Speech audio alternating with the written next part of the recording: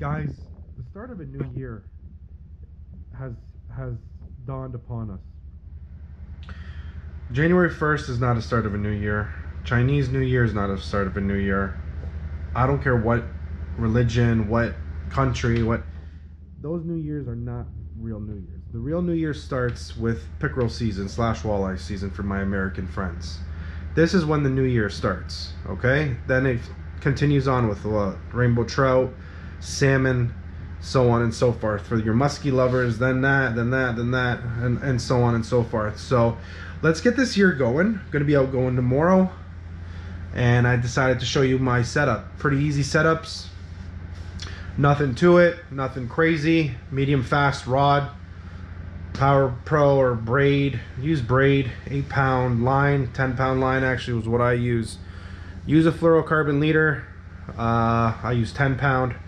And my stinger hooks are on an 8 pound fluorocarbon leader. And I'll explain to you a little bit later on in the video. Guys, little instructive video here, mainly for my next generation. I got three kids. You know, one day they're gonna watch these videos and go, "Well, did my dad used to do that crap?" Them were dead. You know what I mean? So, and they're all about this YouTube crap and uh, social media. So they'll be watching this one day. All right, tight lines. Let's go.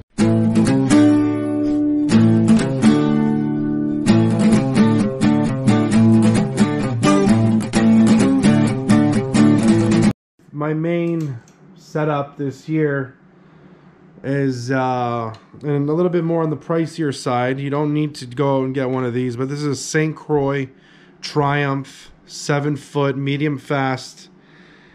Just a beast of a rod. Beautiful rod, nice color. The spine on this thing is just outstanding. And it's super, super light. What's nice about this rod, it's got a five year warranty. Literally anything happens, you send it into St. Croix, they send you a new one. All you got to do is literally step on this, break it, ship it to them, and they'll send you another one. No questions asked. St. Croix. It's pricey, boys. Uh, but it's well worth it. And like I said, five year warranty. I paired this up with my Shimano Nasci. Just a beautiful reel. I love this reel. Not too pricey, uh, but super smooth. The drag on it is remarkable. Love, love, love this setup. I don't know why my screen just went black. Next in line, if you want more of a budget friendly yet still outstanding rod, I love these things. I got about four of these Berkley Lightning Sticks. Spine on it's not too crazy. For jigging though, great rod. So I think this is a seven foot. They come in different sizes, six, six, sevens, all the same. Just get, they're cheap. You can go to Canadian Tire and grab one. I think they're 50 bucks, 55 bucks. So well worth the $55. Great, great jigging rod. Nice and light. Again, spine isn't the greatest. Um, you know, you got to be careful with the bigger fish.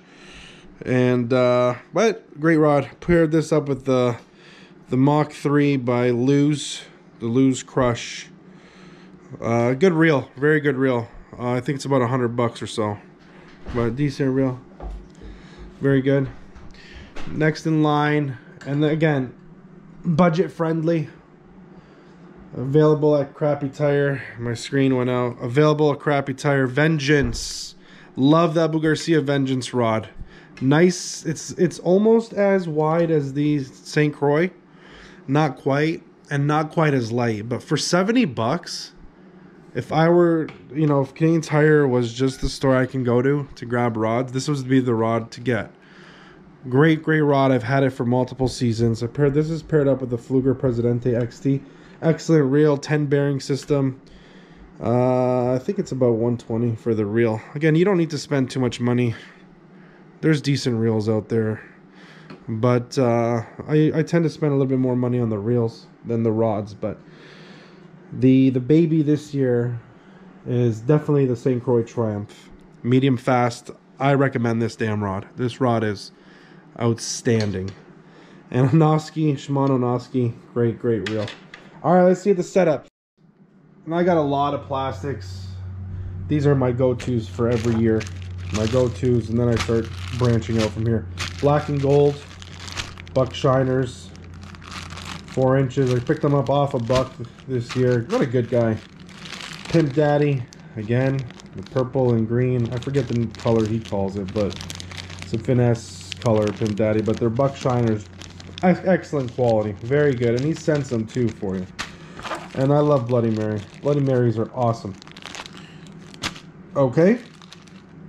Last but not Guys, for swivels, I use these things. There's a crane swivel on them. Size 7. I like big swivels, especially in the Detroit River with all that current. I don't like those little ones that you're using for uh, float fishing and stuff. Those are too small. Use a bigger swivel. Alright? Keeps your line from uh, twisting and just keeps you nice and vertical. Number 7, Excalibur swivels for uh, leader line. So i'm using number 10 braid. For leader i use number 10 fluorocarbon made by Suffix. And then i make my own um, these are made by me. These are my own uh what you call it stinger hooks. And what i use for that is an eight pound fluorocarbon. Reason being if you get stuck with the swivel, I mean the stinger hook, you don't want to break your whole setup and lose your expensive jigs and pla. You just want that little thing. To, so use a little lighter than that. So 8 pound, 10 pound fluoro, and then your braid should break off easily. So pretty much your setup's to look like this. And I tend to have the hook just at the tail. You see that? Hook just around the tail. You don't want it too too flimsy. You don't want it too short. You want that hook just flopping around. So once that pickerel opens its mouth, that's easy to go in. You don't want it too short where it doesn't do anything. Alright. Guys, I'm going to show you my way of uh, doing a uh, uh, stinger hook. So pretty much take your stinger hook. You're going to cut off about 10 inches of fluorocarbon and you're going to bend it like so bend it so you can have, you know, just bend it. And then what I do is the bend goes through here, through your eye of the stinger.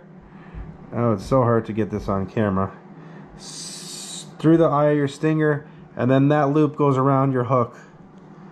Like so. Pull tight. Now again, you want it about, you know, from the hook from where it's going to be on the hook down to the tail. So about there. So you can mark it. You can make a little jig and mark it.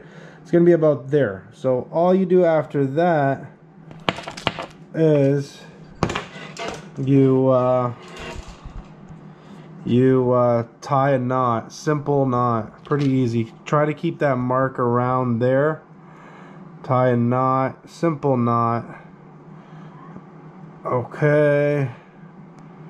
Okay, man, this is harder than it looks on camera. okay. Okay, so there's your simple, simple knot right here. And then you're going to do another knot, two simple knots. And you want them to align together. Boom, boom. So it turns out to be about three inches, I would say. And then